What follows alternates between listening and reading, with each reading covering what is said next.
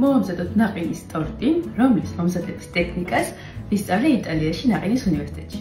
ტორტისთვის დაგჭირდება კლასიკური ბისკვიტი, კვერცხის ცილას თვითფავთ შაქართან ერთად უმატებთ შემდეგ გულს და ფქვილს.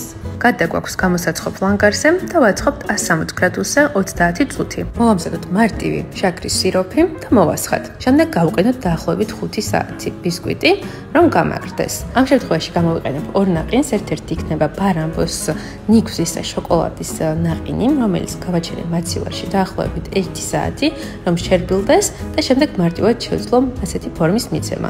ეს არის შედარებით პატარა ფორმა, რომელიც გავყინა და იქნება მეორე ფორმის შუაგულში, შიგთავსი. ხო, გარედან გავუკეთებ ვანილის ნაყინს, მაყლის გემრიელესი ჯემით, რომელიც ასევე დავარბილე წინასწარ მოცივაში და შემდეგ აი ასე ყველგან გადავანაწილებ. წელი ხანით უნდა შევინახოთ მოცივაში და მომდევნო დღეს შეგვიძლია მოვრთოთ. ცოტა ხანი გააჩერეთ ოთახის ტემპერატურაზე და შემდეგ უფრო მარტივად ამოიღებთ ფორმიდან. დეკორისთვის კი გამოვიყენე ათქუფილი ნაღები, შედადებულ რძესთან ერთად და კენკრა.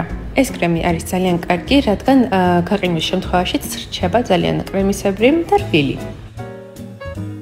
სანამ ტორტს დაჭრით, გააჩერეთ დაახლოებით 10 წუთი ოთახის ტემპერატურაზე, რომ მიიღოს საუკეთესო ტექსტურა. გემოზეც რა თქმა უნდა არაჩვეულებრივია. დროებით